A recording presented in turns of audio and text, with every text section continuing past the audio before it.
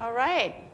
Thanks again for either coming back or joining us now uh, for our session, uh, Big Changes Brought to You by Little Apps. And I have a very great uh, panelist or a panel here of experts who've been uh, working in the mobile industry and helping their own brands move into this new world that we just discussed.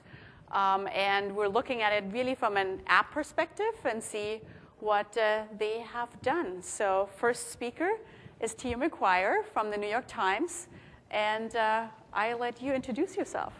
Great. Um, hi, my name is Tia McGuire, and I'm a product marketing manager at the New York Times. And what I wanted to talk to you about today was 10 key trends that we're seeing in the mobile and tablet landscape. So, the first trend is actually the tipping point. Um, and whenever an agency or brand asks me about why mobile is important, the first thing I do is point to this statistic that was published last summer that basically says within five years, consumers are going to be connecting to the internet more through their mobile devices than they are through wired computers. This is the exact same statistic that Google quoted last summer when they implemented their mobile first rule, which means that any product that Google produces, they're going to think about how it works on mobile first. They supported that by saying that they're actually in certain countries starting to see search results higher on mobile devices than they are on wired devices. So if you are a brand or agency that's not currently active in the mobile space, um, I ask you to see this tipping point as really a wake up call and try and find some underperforming dollars and just test and try mobile. So the next trend is actually my favorite because rewind a few years ago, I feel like mobile advertising was kind of stunted by the fact that we only had static banners. Um, the new ad capabilities are a trend that we're going to continue to see evolve. And I won't read through the full list of ad capabilities on the right side, but what I did want to point out was two ads that I think have really redefined a gold standard for innovation within this new platform. The first one is a Ralph Lauren campaign that ran on our iPad app, and it was a shoppable video children's storybook. And if that isn't cool enough, it was narrated by Harry Connick Jr. The second ad is a Visa ad um, that was created by Tina's team over at AKQA. And much to my chagrin, we did not get that business at the New York Times, but I will definitely still hail this as one of the best practices within the industry. So, a few things that I wanted to share with you in terms of metrics about how iPad owners are responding to ads. 46% um, actually enjoy engaging with ads with interactive features, and 36% have made a purchase as a result of an ad that they've seen on an iPad, which is unbelievable from a marketer's perspective. So, the next key trend that we're seeing is really the evolution of metrics. And I'm so excited to see how touchscreens are really redefining our digital vocabulary of click through rate. Because if you think about it on a touchscreen, you can't click through. You can tap through, you can swipe, you can scroll, or you can tilt. Um, so I'm very excited to see this continual evolution of metrics. The fourth key trend is mediation layers and the start of standardization. If you are an agency or media buyer that's trying to execute across multiple tablet apps right now, my heart really goes out to you because no two publishers are doing the same thing in terms of ad sizes, and much of the technology that we use to serve rich media has not been standardized. There's a group by the name of ORMMA that's starting to work through the IAB to standardize some of the basic hooks that we use for rich media. And I'm on the IAB tablet task force. And although I think that standardization is still a couple years away, we are going to start to look at the full page interstitials because we recognize and hear you that you know having to do a custom ad for every single app is not scalable. M-commerce and near-field communication. Um, this is probably the most profound trend that we're going to see over, over the next year or two years. The article on the right hand side really shows that people in Japan have been using their phones as credit cards and wallets since 2007, 2008, and pretty massively adopted.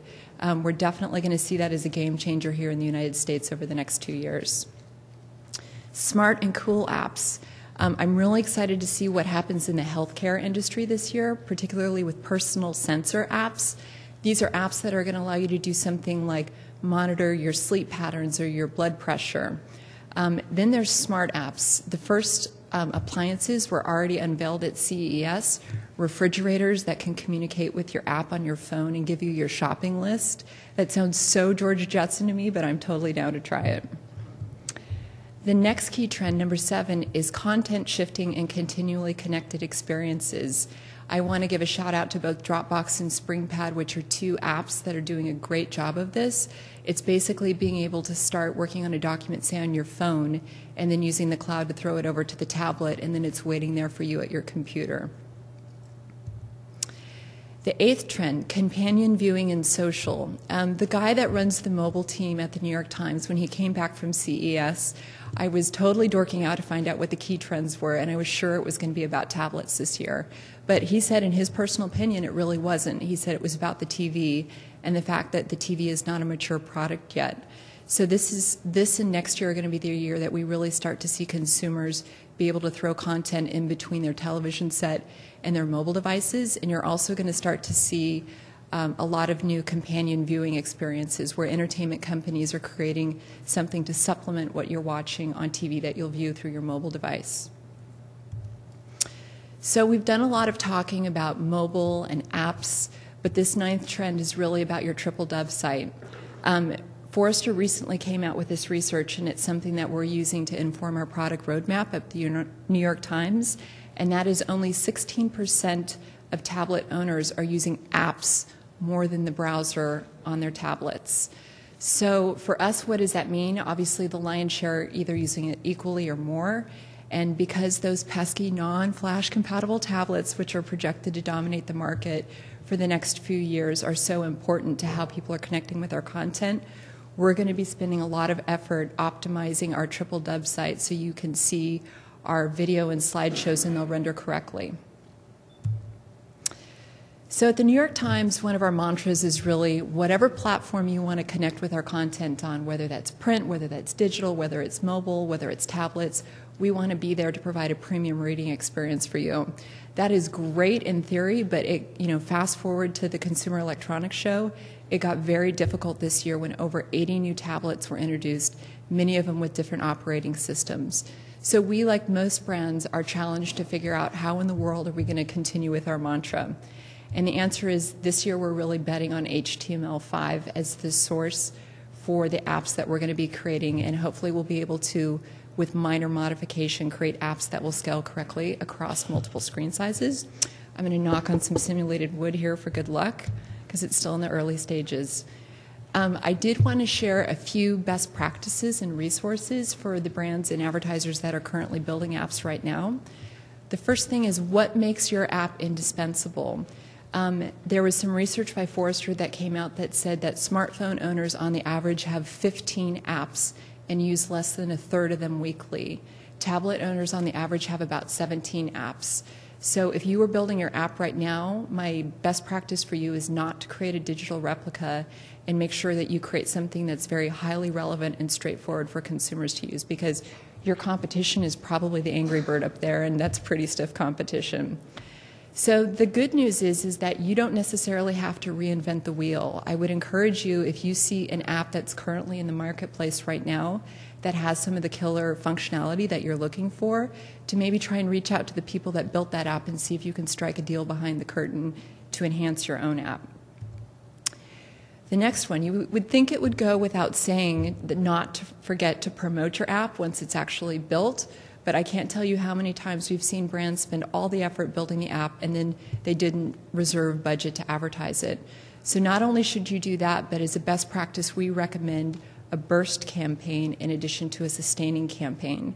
And the reason we recommend that is because the goal is at the beginning um, of the launch of your app, if you can raise enough awareness um, to make it and downloads to make it onto one of the most popular lists, that's sort of the gift that keeps on giving because those lists are critical discovery points for consumers. So, maintenance, definitely not the cool or sexy thing, but if you are building an app, it's really critical that you understand three to four times a year you're going to have to update your app to be compatible with the operating system updates that are coming into market. And that's something at the New York Times that we had to kind of um, fine tune in terms of our staffing. So I did want to leave you with a few resources today. Um, the first and foremost question that we get asked by agencies and brands is show us cool rich media mobile ads. And there's a rich media vendor that I think really has heard this need from the marketplace by the name of Medialets. And they've recently released two different apps. One is on the iPhone, the second one is on the iPad, and they're different. And they're basically a gallery of some of the most interesting rich media executions that are happening in the industry right now. If you want to see this, um, I've got it on my iPhone, and you can come up to me afterwards, or I'm happy to send you information about how to download it. The second resource is the Mobile Marketing Association has an awesome case study library. It's sorted by category, and I try and go check this out one time a month just to see what's new and cool. And the final thing is um, mobilemarketer.com has kind of the daily news about what are the cool mobile campaigns that are going on in the marketplace right now. So that's it. Thanks so much. Is this on? Okay. Um, and next, I would like to welcome Patrick O'Neil from Schwab. Um, he's definitely to give us a little bit of an insight into the financial industry and mobile. Let me switch this over. Yes, we're going to talk about money. So, shifting topics a little bit. Uh, let me just ask a broad question and, and, get an interactive poll going. How many people here feel engaged with their money? Really, not many. All right. I can't lower the bar on that one, so I'm going to try and raise it actually. So, uh, past knowing uh, what's in your savings account, what's in your, your checking account, how many people know how what percentage they contribute to the IRA? Or how their 401k is doing? All right, so a little bit of engagement there going on. Um, how about a stock or fund that you might have bought recently? How's that performing? Kind of. All right. So the point is, uh, money can be a, be a very polarizing thing where some people are downright fanatical about it. Some people would rather floss their cat than roll over a 401k. Uh, but we think apps have the power to change the way people engage with their money. So uh, I'd like to. This one, yeah. Thank you. Uh, uh, take you through a few thoughts here. Um, uh, two specific examples. One, uh, how clients are using uh, apps at Schwab, and one uh, example uh, that might be on a third party app um, in terms of uh, finding prospects for potential clients. So, um, in terms of clients, we see our client base taking to the app uh, in droves. Now, we certainly weren't the first uh, out of the gate with a client app, um, but uh, they're able to, um, with one you know, swipe or a couple swipes of the finger, engage with their money in terms of seeing their brokerage, their banking, their IRA, their mortgage, and this is a, a fairly new proposition. Uh, this is not my bank account, by the way. I wish it were. Um, the beauty of this is not only its simplicity, um, but that it's fast and secure. Uh, people inter- you know, interacting with their finances is kind of a scary thing. They want it to be close to their chest. Um, so it's fast and secure, uh, but it's simple. So it removes that complexity barrier that, that sometimes hinder people from interacting with their money. Uh, now, thinking back to when you used to get your statements in the mail, then you had to go to the web, you had to log on, uh, now you can do this, uh, all these transactions, even trade if you, if you want to, uh, in the time it takes to travel a couple floors on an elevator. So we think that's a pretty unique uh, proposition.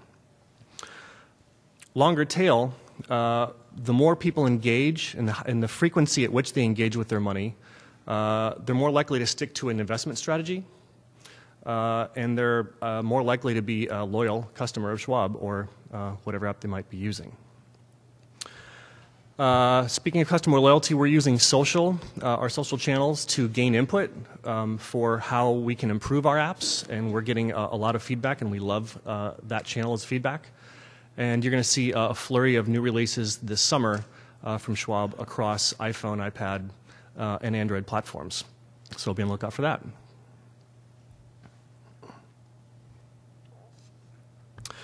Another quick poll. How many people have been surfing the web in the past 10 years and clicked on a banner and bought a mortgage, bought some life insurance, or uh, anything like that? Not a one. Exactly. So we don't expect mobile to be this kind of channel either. That's going to be, um, you know, be an acquisition channel for very complex uh, products and services for finance, like a 12-year muni bond uh, ladder. so what do we see this uh, doing in terms of gaining prospects on on apps? Well, we see the ability to provide the same kind of utility and, and help and guidance that you'd find at a Schwab branch uh, on the phone or, or um, online. So here we have a quick example that you might find uh, and, and, come across while visiting your favorite uh, third-party media app, reading about the top 10 places to retire. And uh, we've taken this uh, quick calculator off of Schwab.com. We've made it into a, a nice, easy interface with, uh, you know, a quick touch, add your name, when you plan to retire, and get a quick kind of reality check of how much you can expect to take in Social Security uh, when you retire. And it's this kind of help and guidance, little bites of utility that we see apps being able to give us this canvas for uh, and get people kind of uh, past that inertia that's holding them up from getting engaged with their finances. What's more, um, as Tiu uh, mentioned, there's a lot of native functionality that we can use that can continue this dialogue. Uh, everything from a GPS to uh, inform them where the nearest branch might be, to click to call, click to chat, video, email, calendaring. We can um, calendar an appointment right then and there in the app. It's a very powerful proposition that we didn't really have um, with uh, display banners.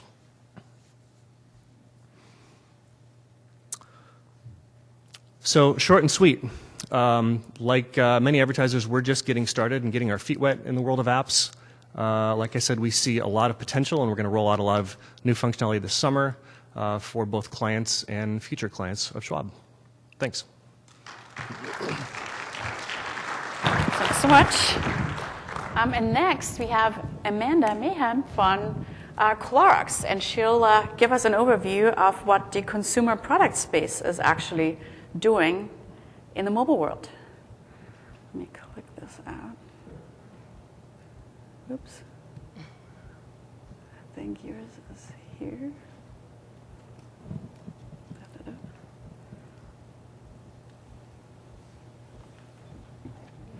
All right, let me switch this over. Yeah, you can either do that or use this. Okay. Hi. I'm Amanda Mahan, and I'm going to be talking about the Clorox My Stain app. Um, this is the story of how the app came to be and five things that I learned along the way while making it. So, five things I learned along the way while making the Clorox My Stain app. Um, so I started at Clorox about a year and a half ago, and the first thing that I had to do, one of my first responsibilities, was cleaning out all of the crap that the person before me had left in the office. And one of those things was this magnet, and it had all of this great stain removal content on it. And um, I thought, this is really good, but how many people have this magnet? This is such rich content. Um, so I started to look at our other online assets. Information was not there. So then that got me started on a bit of a quest, and I thought, I wonder if people are looking for this kind of content. So um, did some sleuthing using some Google tools, and I found that tens of thousands of people were searching for stain removal tips every month. And they were exactly the kind of stain information that we had. We just weren't getting it out to them. Um, and the other thing is that many of them were looking for stain removal tips from mobile and also just knowing the statistics from mobile, I knew that a lot of people in mobile were moms and were young moms. So that was an audience that we wanted to reach. And we knew that mom had a problem. She needed stain removal tips and she needed them on the go. And Clorox had this great content. It wasn't accessible. But in addition to that, we had another problem, which is that we had a perception problem. We are you know, we're going to be 100 years old in 2013. So we're not a cool company. We're not like a hip company. We're not even like retro hip. We're just nothing. so we, um, you know, we wanted to get in there with the people, the young people, and, and try to um, solve their problem and also solve our, our, own problems. So we were hoping that this MyStain app would solve the consumer's problem anytime, anywhere, and also try to make laundry a little bit hip. So, um, uh, you know, to you mentioned also don't reinvent the wheel. Same thing happened with us. So we looked on, around and we saw that stain removal apps actually existed. There were a couple. They were pretty dry. They were pretty straightforward. They had similar content to us, but a lot of it was very product centric. So it was using their product always to solve this problem. So we wanted to make ours different, and there were three ways that we did that. One is we wanted to add an interactive game like component. So um, you've probably seen other apps have the slot machine sort of functionality. So we decided we wanted to use that because that is a code that it's reusable code. So it will keep the cost down of our app. We knew that, and we had a small budget. Um, so we did scenarios where we had um, a person, a situation, and a fabric. So, uh, so what happens is a person could either they could browse all the stain removal tips we had, or they could search for a stain. But then the other way they could interact with it was with this kind of funny wheel. So you would press a button, and it would come, the slot machine would come up. So in this example, it said "dad date pants," and then they got a line that said "how to remove soy sauce," and this little cute line that says, you know, that's what you get for trying to impress the young girlfriend with a sushi boat, dad. And from the family values company to like even admit that mom and dad are not together and that dad's like eating sushi with young girlfriends was just really really a huge departure and it was a good departure because while that's the reality for lots of people out there it wasn't anything that we were ever even admitting or talking about so, um, so, and that speaks to also the tone. So we wanted to just have some fun with it. We wanted to, to it to be something that maybe would give someone a chuckle and and you know spur them on to share it. Um, the other thing that was different is that once you got to the steam removal um, tip, we had on the go information. So we, we knew that people were looking from their mobile app. They're in there, you know, obviously they're, they're accessing the content from mobile. And so we wanted to be able to give them a solution right then and there. So we, we of course talked about our products. If when you get home, you're going to use our products, but when you're on the go, you're not, you don't have your, our products with you. So we gave them just common sense tips that they could use. And those, that was a huge differentiator too from what was already in the market at the time. Okay, the humorous tone was really actually a huge thing for us because even before the app was in the market, people were calling for interviews because they wanted to talk about what we were doing and they had heard about this app. Um, after we got into the market, we got into publications that we had never been in before. So we had been in People, we had been in Redbook, um, paid, but this was unpaid. So we were featured in four apps we're loving, all, all different kinds of publications, places that we would we had never in like the history of the company been in without having to to buy an ad there. Um, and then also, we think because of the tone and the kind of fun aspect of it, it got people sharing. So 50% of people who downloaded it shared either through Facebook, Twitter, or email. They shared the app or individual tips. And we, um, we tried to make it really easy. So you just clicked a button and you could, you could push out any kind of content because we wanted it to be, we wanted people to share it with other people, obviously. So the third thing I learned is that you want to think big, but it's okay to start small. I think a lot of times when agencies come in and they pitch you on this really cool augmented reality thing starring a basketball player or whatever, you know, and it's hundreds of thousands of dollars, it sounds awesome. But who has that kind of money and who can convince brand people to spend that kind of money? Not a lot of people, right?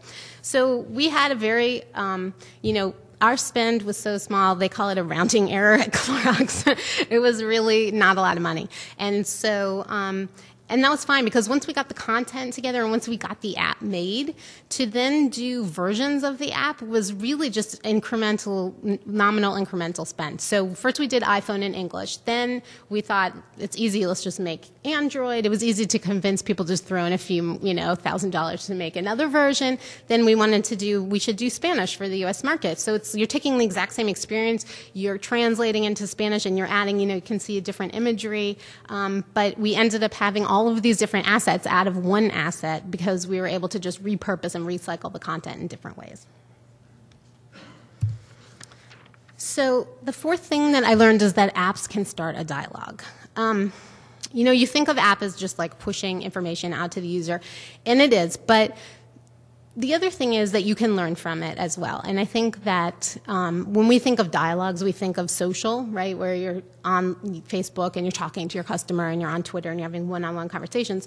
We actually learn a great deal, though, from our consumers by watching and tracking their behavior in the app. So we know everything that they're doing, how much time they're spending, what they're looking for, what they search for that we don't have, and we're taking that information and we're using it. So um, at the Blue, I got a phone call from Julie in R&D. She's now my best friend. She calls me every month and she wants to know what what are people looking for, what are the top searches, and she's mining through the data. Um, they're really going to use it to help drive product development. So if they find, for example, that you know baby puke is really popular. they might develop a wipe that can deal with baby puke on the go because that's something that they know people want. They really want to, you know, develop products that people need. So they're using this as one of their inputs. Um, also, we found, for example, that uh, wine stain was really big. So now we're using wine stains in our ads because the um, we know that that's something that's resonating with people. Um, we knew we found that people one of the number one things people were searching for was taco grease, and we had that stain removal tip, but we just didn't have it in the My Stain app for the initial run, so we added it. So those kinds of things are really kind of permeating through the company and companies using the information to, to push product development and marketing and claims. So I thought it was funny because you had Angry Birds too, but I think the fifth thing that I learned is that you have to set reasonable goals. So you're not going to get 10 million downloads unless you're doing Angry Bleach Birds, and we're not. so the you know the thing that um, that I think people sort of are always like, well, how many downloads can I expect? What's the ROI? And that's not always like the best way to look at it. First of all, the app itself is not going to drive traffic. You have to have drivers that go to it. And um, traditionally, you have to have something that exists before people in the media group are going to get excited about driving traffic to it. So you want to um, think about other goals, and other goals can be reaching new targets, which is something that we did. I, I talked about reaching young moms. Um, the other thing is changing perceptions about your brand. So it was interesting because I just saw this social listening report um, yesterday, and they had, you know, they talk about our share of voice and who, what people are talking about when they talk about Clorox. And one of the huge things that popped up was stains. And a year and a half ago, that, that was not even on the map. So it really has changed people's ideas of what, where they can go for solutions. Um, and, and the sentiment was in a positive light, which was really good because that means that we are doing what we set out to do, which is solve their problems. Um, getting buzz, I mentioned, that's a lot of the social and the sharing and being in people and being in Redbook. And then the last thing that I think is really important is that we created something that employees can love. When you have this new generation of, you know, young people coming right out of business school and they're coming to Clorox and they're searching for signs of life, because it can get pretty boring, you know, pushing cleaning products. And here's an asset that they can download onto their iPhone that they already have and share with their friends. It's something that they feel is cool and that they can feel proud of. And once we created the asset, it really took off in terms of just people heard about it, they wanted to get involved, they wanted to do stuff. We did summer stains, we did holiday stains, and it's it's not only changed, you know, how we did an app, but it changed back, you know, back on the ranch what we did with like our voice and the way that we talked about stuff and the imagery that we used because we changed the way that we talked about our our solutions. We before it was always about like here is how you use bleach and use a three quarters of a cup and this is our product uh, instructions. And now we're talking about it as a solution to mom's problem. And that was just a, a, huge shift and a shift in the way of thinking. And when we do dna work brand dna work you know when they talk about what are the things that we like that we feel good that feel like the future of the company this is the top thing that they think about. So it really is at the core kind of changing our brand dna um, and then, you know, most importantly, our CMO, who I don't even think has an iPhone, said that it was totally awesome. so, um, so those are the five things that I learned, and you know, hopefully, this app helped make our company just a, a teeny bit cooler. Thanks so much, Amanda. And then, uh, last but not least, we have Scott Jampol from Open OpenTable. Switch this.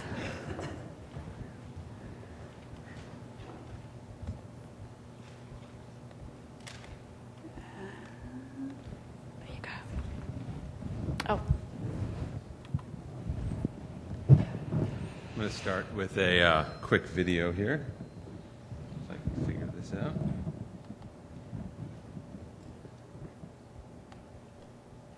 If you can book dinner on Open Table or a flight on Southwest or United Online, then why shouldn't you be able to make an appointment at your local Social Security office the same way?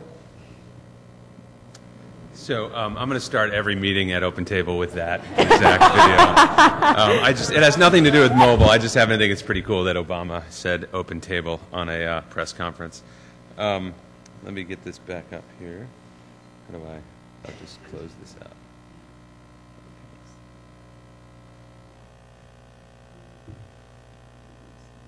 Oh, great. Okay, so um, putting mobile on the menu. Going to talk a little bit about OpenTable and our approach. So, back around uh, the year 2000, if you can remember that far back, we launched our first mobile app. Um, anyone in here have the uh, Palm Pilot? So I'd like to thank the man back there for being the only one to book a restaurant reservation on the Palm Pilot app we developed. Um, it was a slow start for OpenTable, and I think we were a little bit early. Um, needless to say, what you've heard today, uh, both in uh, the presentation before this and, and with my colleagues, um, we have seen a tremendous uptake in mobile and what mobile means to our business.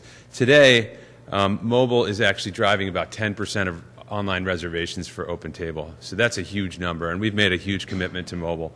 Um, we've seeded 7 million diners, actually more than 7 million diners, through mobile applications alone. Um, we've generated over $350 million in restaurant revenue for our restaurant partners through those reservations um, that were seated at the restaurants. Um, we, we, unlike many companies, have gone very broad in the number of mobile products we've developed. So you can see here we've got a suite of about seven different platforms and a mobile optimized website that we've launched to date. Now, we're not actively supporting all of these and re- releasing new versions. Um, we're working on the ones that we've seen a lot of uptake in. Um, we didn't create all of them ourselves. Some were created by partners for us. But, um, but I think what, um, what you can see is that we recognize that this is a whole new way that people want to interact with our brand and our product. Um, and so we, we've, uh, we've seen tremendous, tremendous response. Um, just in terms of timeline, we launched our mobile website in May of 2008, and since then, every few months, we've been adding on to our mobile suite of products. Um, and as we add on to more and more products, we're seeing more and more engagement. We define our business by the number of diners seated, so that's what the metric is there. One neat thing about it is it's a new point of love that our customers have for OpenTable. There's one uh, tweet up here about how uh, someone loves having OpenTable in their purse. Um, I think that's just a great example of a way that it's built a new relationship with someone. That we used to be just a relationship they had at their desktop, and now all of a sudden we're in their purse, which is a pretty intimate place for many people. Um, and it, it's a good indication that we've we've gone to a new height with our brand. It's also a good indication that they're telling other people about it because they're proud to have that, and they're using Twitter and other media to do such. Um, it also creates incremental booking opportunities. So for us, this is uh, great news for our own revenues as well as our restaurants' revenues. I like to use the movie theater as a good example um, to think about incrementality. Uh, before mobile, you used to walk out of the movie theater, you were hungry, you had a little popcorn, but you looked to the left and you saw a Chinese restaurant, and you looked to the right and you saw a diner, and you said, that, "Where can I eat?"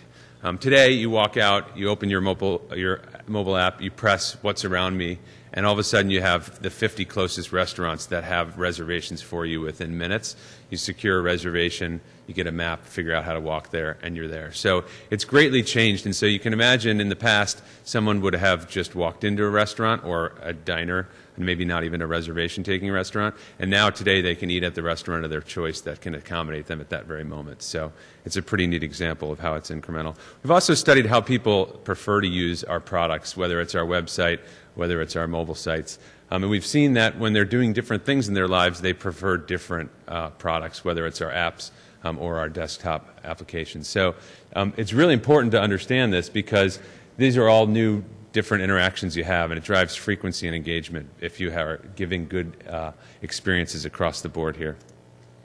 Um, another thing, this is a little bit hard to read here, but another thing, this shows the difference in uh, the time between when the reservation is booked and when the reservation is seated.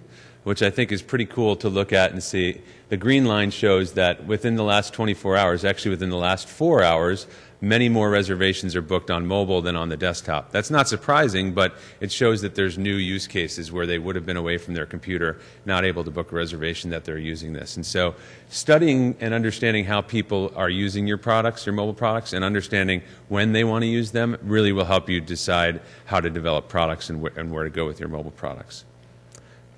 The next um, one I would like to share, uh, uh, now I'd like to just share a couple of things we learned along the way that hopefully will help you all with this. So, um, the first thing we did was we looked at our own website. Forget building apps until you've taken care of your own website, and make sure that your website that you spend a lot of time and energy building um, works well on mobile devices. And so here's an example, not Open Table, but it's a restaurant partner of ours.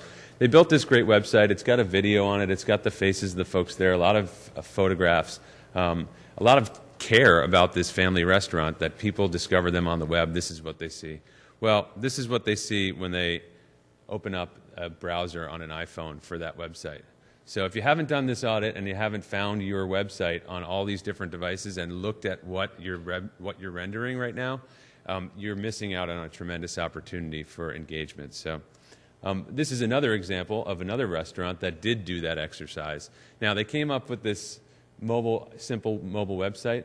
Not the sexiest thing in the world, but I would argue that about us, directions, contact us, reservations, and about the location that they're in are the main use cases that people are using when they're going to uh, a browser on a mobile device looking for a specific restaurant. Not the fancy music or the video or the pictures. They want to know how to get there, what, what's on the menu, and how to make reservations.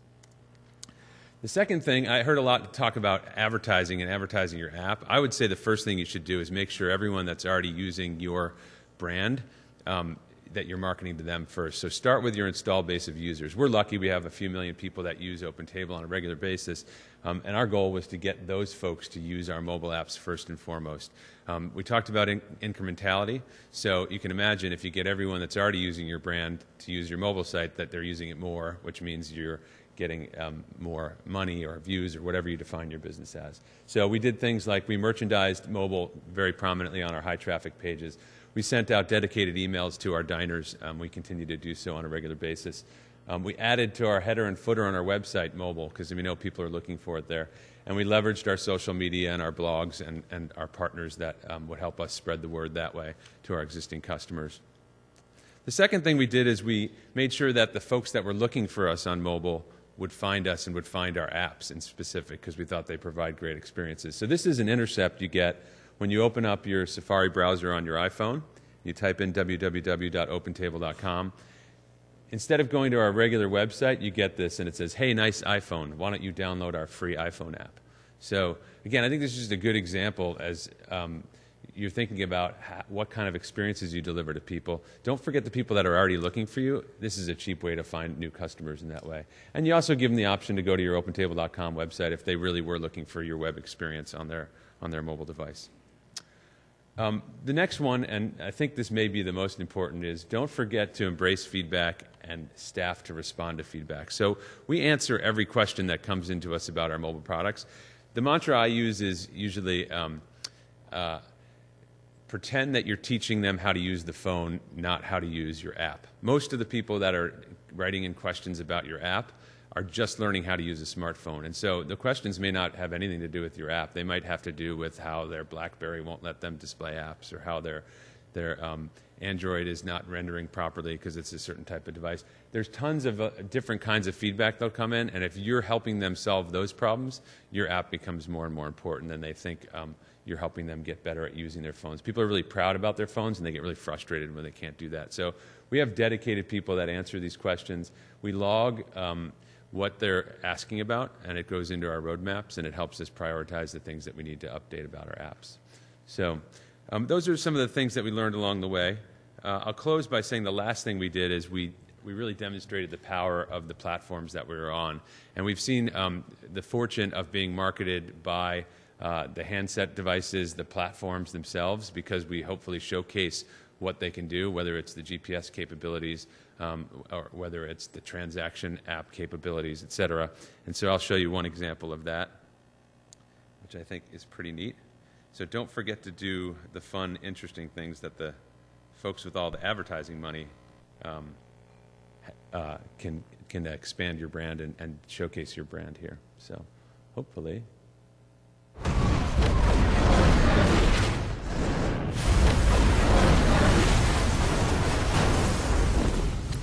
Sick of these drones. Alec, use your LG Ally smartphone to find a local crowbar shop. Something to pry open this flaming car. Andy, use yours to get on Google Latitude and find out if we have any strong friends nearby. Jen, download some cool rescue music. Okay, get on eBay and bid on a car that's not upside down. No, Jen, too obvious.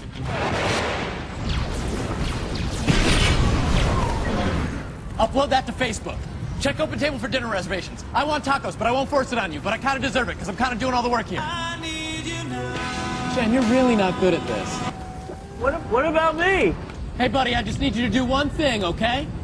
Use your LG Ally to take a YouTube video of me standing like this with the flames in the background. Because girls like guys who stand near flames. Is it a lifesaver? The new LG Ally smartphone. So is it a smartphone or something better? All right, so that's all I have. Hopefully, it was a little insight about how Open Tables approach mobile and some of the things we've learned along the way. Thanks. Stay here. All right, I'd love to uh, have you all come back up here. Um, and I'd like to open it up to the audience to really ask questions uh, to our esteemed speakers here. And uh, hopefully, they have all the answers that you were always looking for. So, yes.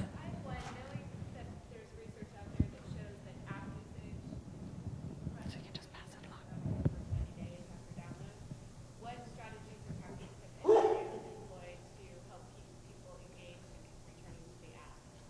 So let me just repeat the question. It's, it's basically all about how, what do companies do, what do brands do to keep people engaged with the app so they're not dropping off after the first time or the second time they're using the app? Well, for us, we add new content all the time and new functionality. So we're constantly thinking of new stains, and we try to do it at times when it makes sense. So in the summer, we're doing summer stains, and the holidays, we're doing holiday stains, so that um, when they're searching for it, because we also we do a lot of search promotion too. So when they're searching for that kind of stain, our solution will come up. So um, they might have the app already and continue to reuse it, or it might catch new users. So basically, ditto. Um, we continue to introduce new content and functionalities such as blogs, rethinking about slideshows, and work really closely with our information architect to make sure that it's a seamless experience. Um, so I think, uh, in addition to that, I mentioned that you need to try to really make sure that the app has information that becomes indispensable over time. So, you know, dining history, the ability to change your reservations or cancel them at the last minute.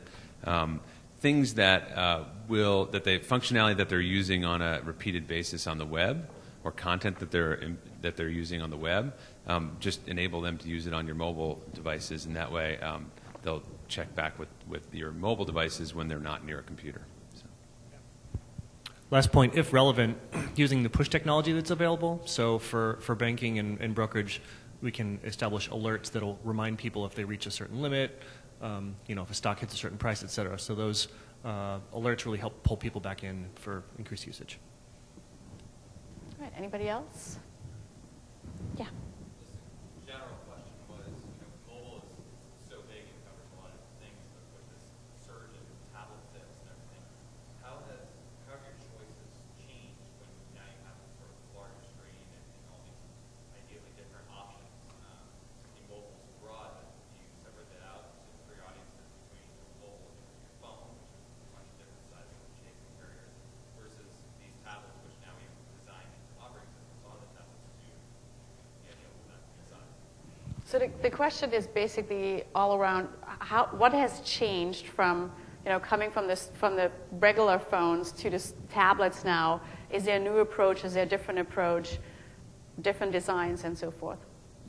Um, so for OpenTable, we have a, a much more map and photo-centric iPad app um, than we do on the uh, the other um, mobile phone uh, apps that we have. That's the only tablet app we have to date, um, but hopefully we'll be looking at some new ones as well. Um, you know, I think you also have to ask uh, why you're on a tablet versus on the phone and what you hope to achieve.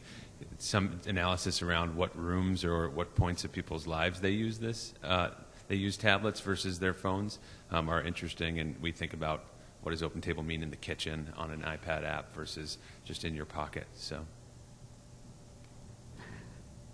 Um, so we do think of them as, as very different devices, and we work with our information architect to design appropriately. Going back to how people are using it on the phone, it's much more of you know filling a pocket of time, and we're seeing usage on tablets being much more of a leisure experience and being more concentrated in the mornings and afternoons, whereas mobile's pretty consistent throughout the day. Um, I agree with Tina that for me personally, tablets are still part of the mobile family, but in terms of how we design and approach it, um, it's very different. Yeah, I would just add, when we made um, our app, which was not that long ago, iPad wasn't even here, so we didn't really think for that. But we have explored now doing versioning for iPad, and, and one of the things that we would consider is is um, adding some rich media because it could handle that better and display better. But also just the swiping and the, the the ways that people interact with it, we would want to make sure that we are in line with that. Yes.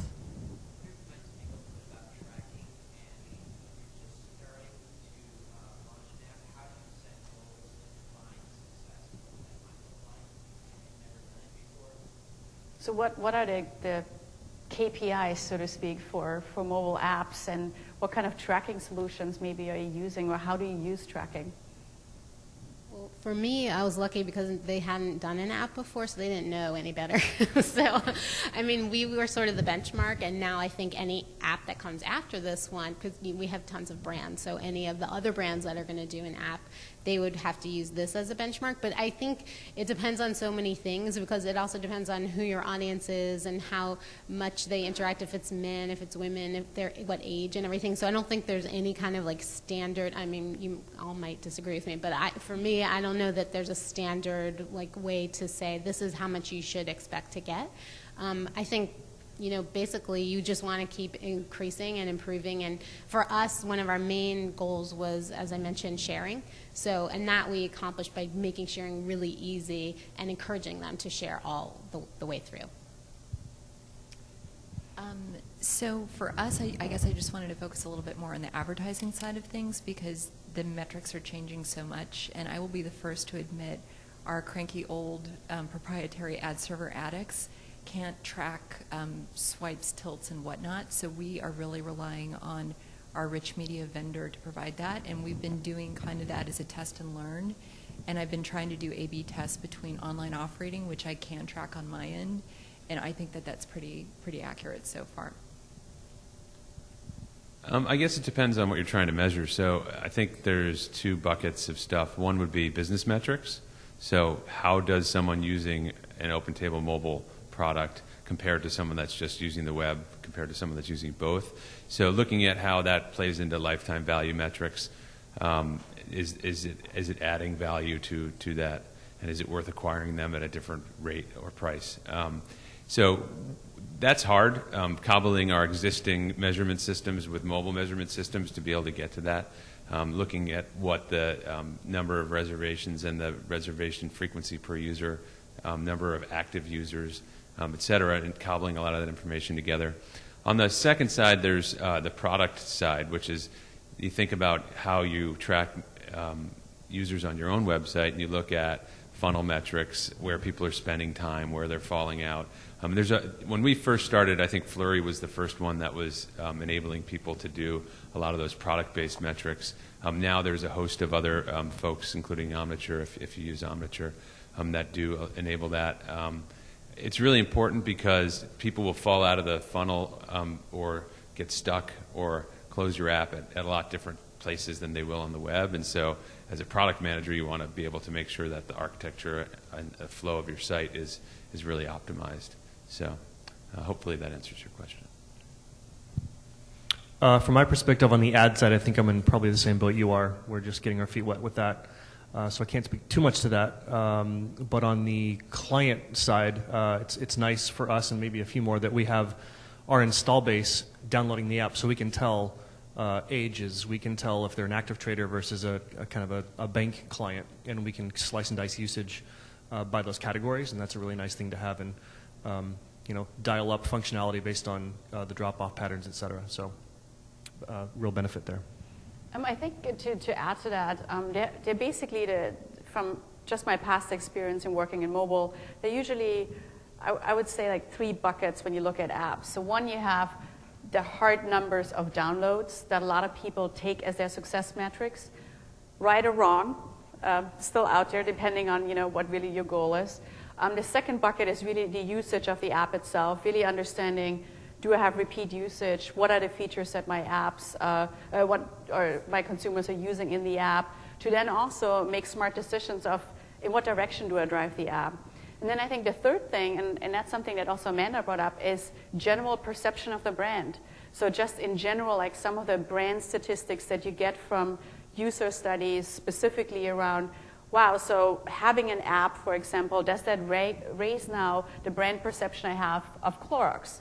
Do I now move up the brand into a more cutting edge um, brand category in that sense? So I think those are all, they, never forget also the soft factors that play into uh, when you're creating mobile experiences in general. So these are kind of the, the three bigger buckets that we usually look at when we, uh, when we look at success metrics uh, for any kind of mobile experience. Anybody else? Yes.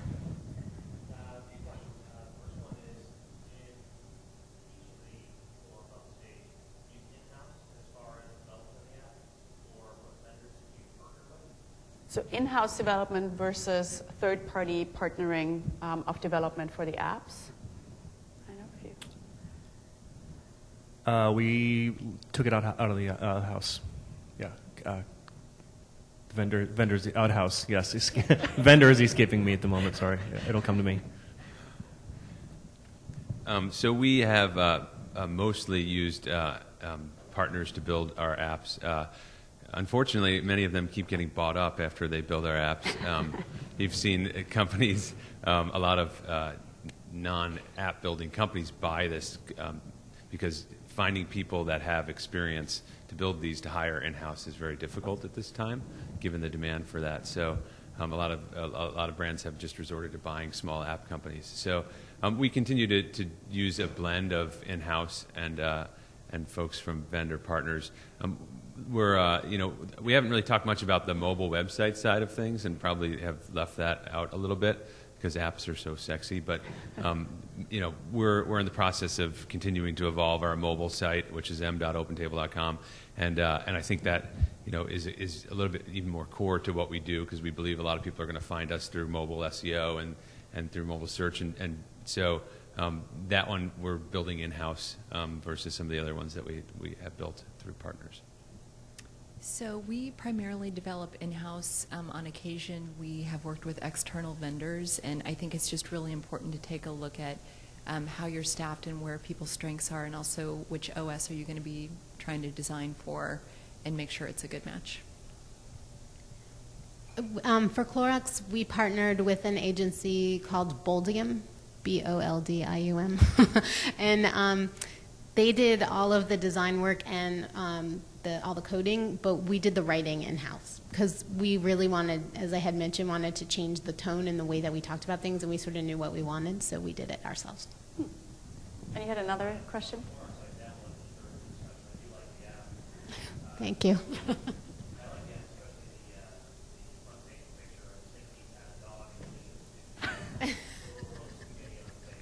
I know.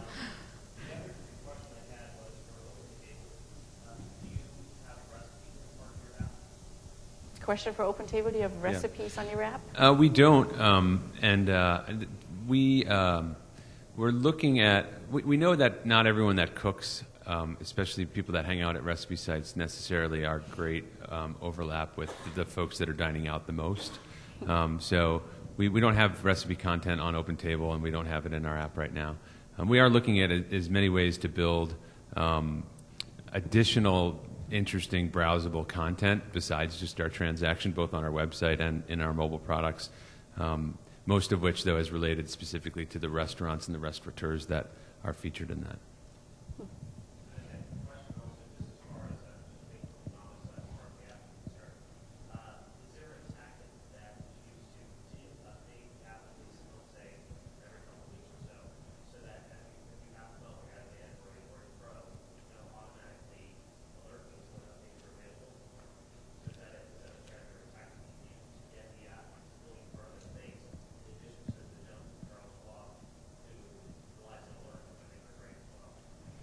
So the, the question is, is there an, an update strategy in place for all of you guys? Um, you know, it's not that uh, inexpensive if you're using an out um, a developer from a vendor partner to continue to update your apps. You have to make a decision if you're going to make a bunch of small updates or major updates. Small updates that don't impact the user experience that much can be a bit disappointing, even if you get someone to open it, um, versus larger ones will take more time uh, and be bigger gaps between those releases. I think um, one of the things that's frustrating about mobile development and some of the platforms and, uh, versus others is that we got really used to this test and learn mentality on the web of just throw it out there, see how people are using it, A/B it, and you know create um, a really quick turn on uh, optimizing and enhancing uh, new features or removing them and changing and testing. That mentality is still having trouble getting its way into um, mobile and mobile uh, apps in particular, and so you lose the ability to do that a lot. And so it, that, that's a bit frustrating, I think, for me. Yeah, I would say um, the updates we have coming out are fairly significant. Plus, for our um, situation, we're dealing with highly um, personal data, so um, it kind of keeps the security fairly tight, and um, you know, it gives us a chance to kind of gather our our um, troops and really uh, do better marketing each time that uh, the new features come out. Um, so we really try and roll our updates um, together so you don't get pinged all the time. When it is a major update about features and functionality, we also complement it with a house marketing campaign to let people know that there's a new version. Yeah, we basically do the same. I mean, the, the main thing that we do is add new content, as I said, and that we try to group it, but it also depends on our claims because they're very strict about what we we say we're allowed to do, you know, what we stands we remove and everything, what we're allowed to do. So we kind of, it takes a little bit longer of a process than we would like. All right. Yes?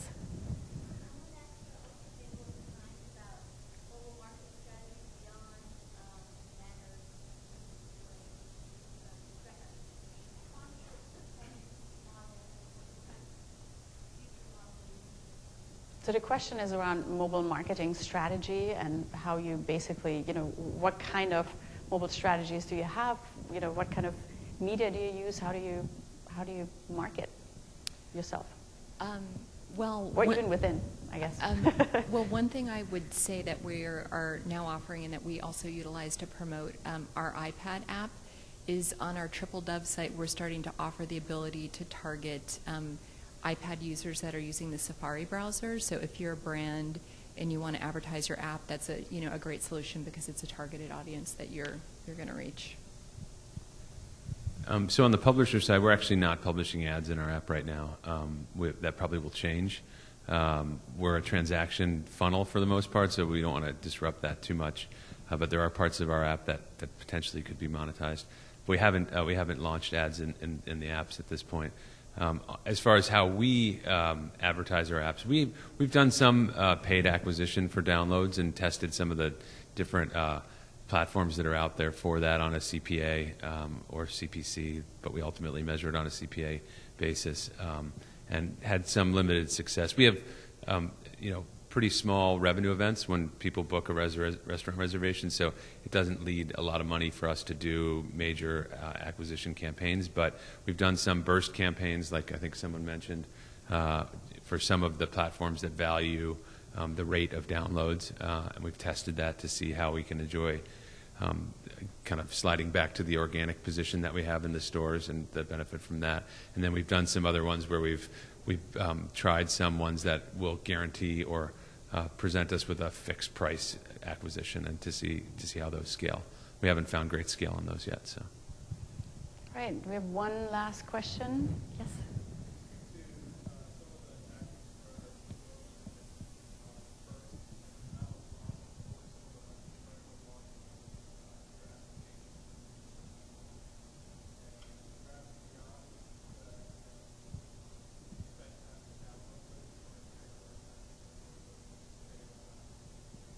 So, so what are some of the learnings when you just launch the app? How do you get this burst and how do you get it out there to as many people as possible? And then obviously, you know, what are some tricks to get on the top download lists? Um, well, I think if you're going to spend money, doing it in a burst fashion when you first launch might be a good idea for, you know, I know for Apple in particular, um, that seems to work pretty well because they, they, I believe they do use the rate of download um, over, over a week or two.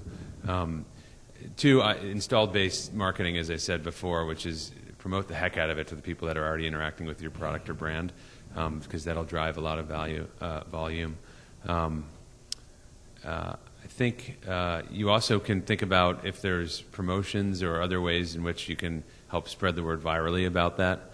Um, we've done a fair amount of promotion in our blog and on our on our social media sites, and tried to do small contests and such to to engage people through that. Um, anyone else have?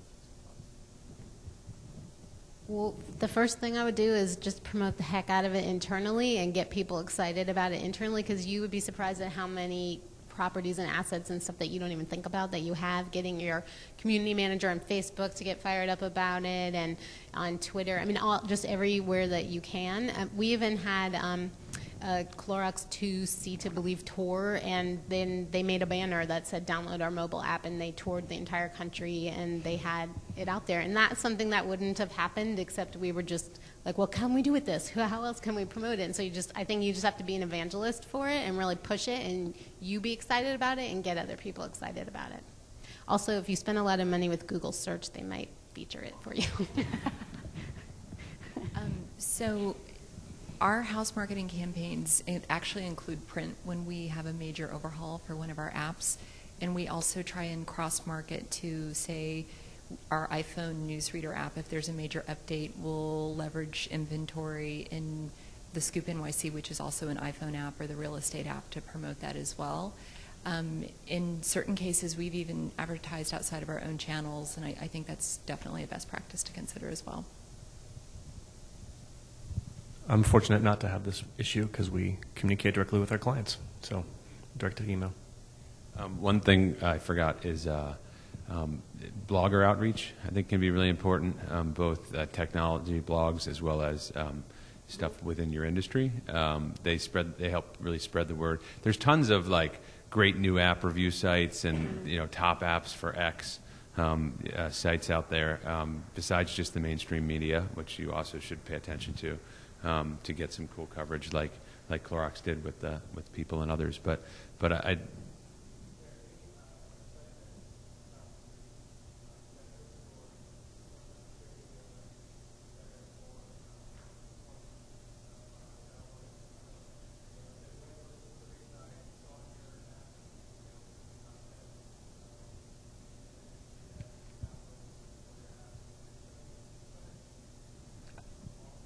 Are, are there any websites or, I guess, mobile sites that increase uh, the download possibility more than others? I, I, can't think of any that I'd, that I'd recommend over others. It probably depends what your industry is and site type is. Mm. No, but that's an awesome idea. All right. So thanks, thanks to you guys for, for being here today and sharing your experience. And thanks for you to joining us here, and I think there's a ton more mobile stuff coming uh, later today. Thank you.